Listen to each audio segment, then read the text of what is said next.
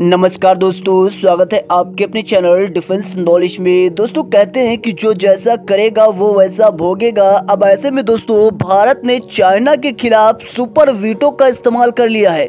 अभी आप थोड़ा सा कंफ्यूज ज़रूर हुए होंगे, लेकिन ऐसा ही कुछ हुआ है। भारत ने चाइना के खिलाफ सुपर वीटो का इस्तेमाल कर लिया है और चाइना बहुत ही ज़्यादा बुरे तरीके से फंस चुका है। आखिरकार चाइना अब करे भी तो क्या करे? भारत ने यहाँ पे जो रणनीति खेली है, ये वाकई में काफ़ी अच्छी है। ऐसे में भारत को इससे बहुत ही बड़ा फ़ायदा भी मिल सकता है। यहाँ तक कि आप लोगों को मैं बता दूँ यूएनएससी में वीटो पावर भी इसी की वजह से भारत को मिल जाएगी।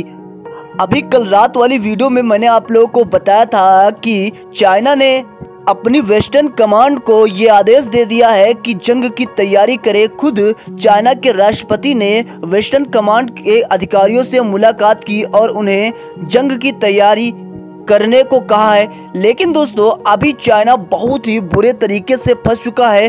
भारत ने चाइना के खिलाफ सुपर वीटो का इस्तेमाल कर लिया है।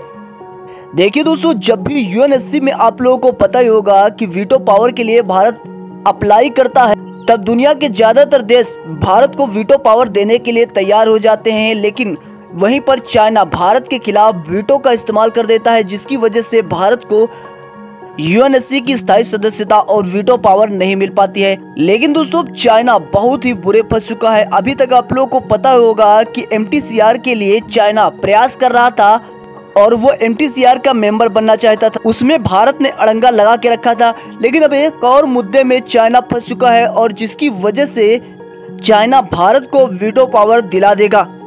दोस्तों, आप लोग को मैं बता दूँ, आज के समय में अगर देखा जाएगा तो दुनिया में सबसे उभरते हुए जो समूह हैं, उसमें से एक ब्रिक्स नेशन। अब ब्रिक्स नेशन बहुत ही तेज़ी से आगे बढ़ रहा है। अगस्त में इसकी मीटिंग होनी थी। अगस्त में बताया ये जा रहा था कि इसमें और भी नए देश शामिल हो सकते हैं। चाइना ने यहाँ पे सऊदी अरब, इंडोनेशिया और मिस्र को इस ब्रिक्स नेशन में शामिल करने की बात कही थी। लेकिन भारत और ब्राज़ील ने मिलकर इस पर अपना वीटो लगा दिया है। यानी कि दोस्तों, जब तक भारत और ब्राज़ील नहीं चाहेंगे, तब तक ये देश ब्रिक्स नेशन में शामिल नहीं हो सकते हैं।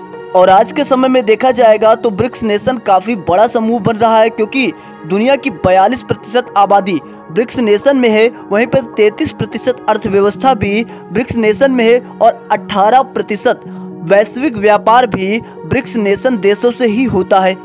तो दुनिया के ज़्यादातर देश ये चाहते हैं कि कैसे भी करके ब्रिक्स वाले हमें अपना लें।